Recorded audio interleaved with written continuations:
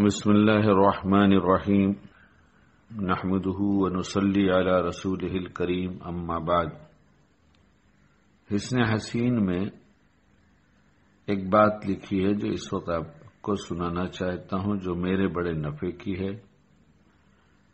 और शायद तीस साल पहले मेरी मुनाजात मकबूल के शुरू के, के पेज में जो जायद लगवा लिया था दुआओं के लिखाने के लिए उसमें हज़रत मुफ्ती मोहम्मद हनीफ साहब रहमतुल्लाह अलैह ने ये दुआ लिखा था, जो हिस्न हसीन में है कि कोई बड़ा गुना सरजद हो जाए तो तीन मरतबा यह अल्फाज कहे अल्लाहुम मगफिरतु का औसऊ मिन जुनूबी व रहमतु का अर्जा मिन अमली।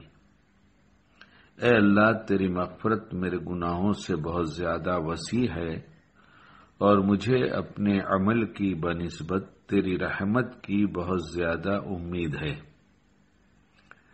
हदीस शरीफ में आया है कि एक शख्स रसूलुल्लाह सल्लल्लाहु अलैहि वसल्लम की खिदमत में रोता पीटता, हाय मेरे गुनाह, हाय मेरे गुनाह, कहता आया, आपने उस शख्स को यही दुआ तालीम फरमाई।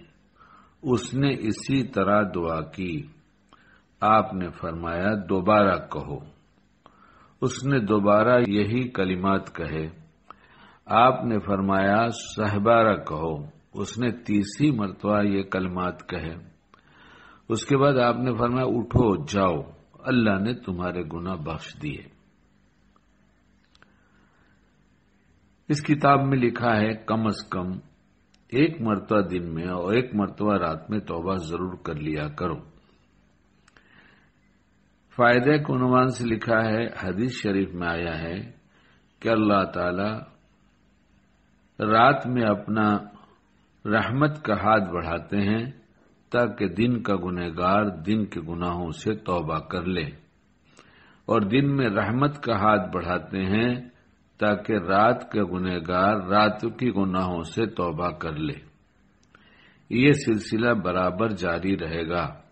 यहाँ तक कि सूरज मगरिब से निकले और क्यामत आ जाए। अल्लाह का कितना प्यार है, कितना प्यार है अपने बंदों पर कि ऐसी पकड़ नहीं कर लेते कि तूने गुनाह क्यों कर दिया। बल्कि तुझसे गुना हो गया तो तू ऐसा छोटा छोटा अमल कर ले, जिससे तुझे बहुत फ़ायदा होगा और मैं गुनाहों को मिटा दूँगा।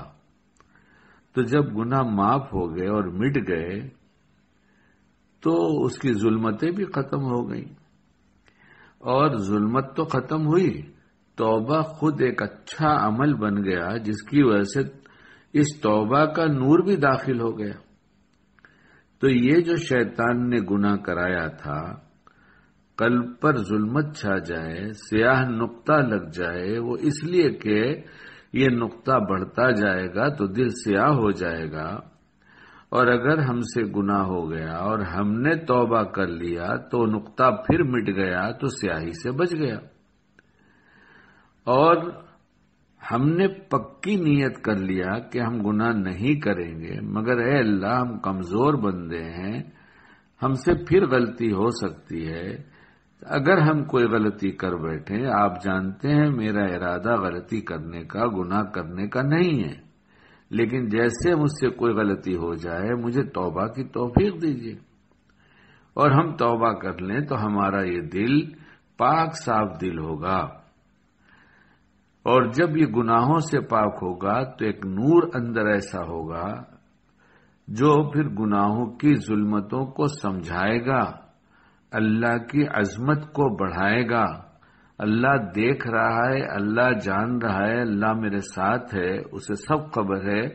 इस जज्बात को तकवीत हासिल होगी और हमारी रूहानी ताकत बढ़ेगी और गुनाहों से बचना और आसान हो जाएगा। अल्लाह हमें सच्ची तौबा की तोफीक दे और सही समझता